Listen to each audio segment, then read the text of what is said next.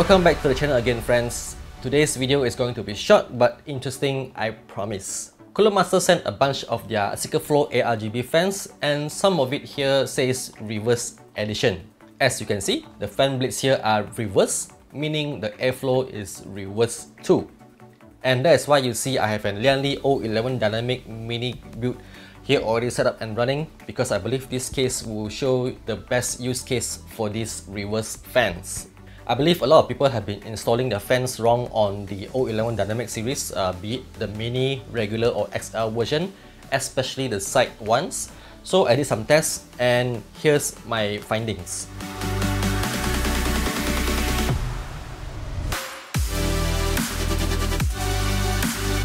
it is very clear that having your fans set as intake will give you a lower CPU temperature, especially when you're using an AIO, be it 240 or 280, right?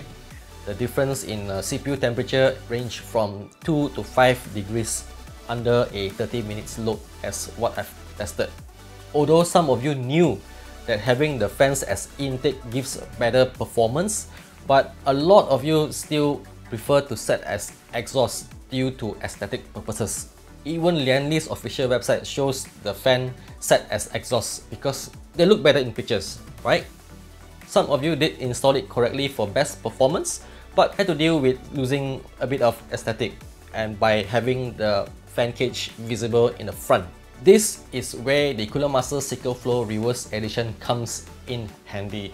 Now you can have the fan set as intake while not having any visible fan cage in front because in the name, the fans are literally reverse. Now you can have the best of both worlds, having the best performance for your PC and yet not giving up on aesthetic.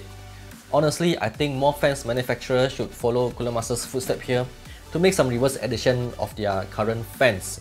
This will help with aesthetic and actually prevent users from installing their fan incorrectly, sacrificing performance over aesthetic, right? Uh, again, thank you Cooler Master for sending in this bunch of fans for me to play around. And I'll have their link in the description down below to where you can buy it, right? So subscribe and like this video if you enjoy the content and I'll see you guys again in the next video. Bye!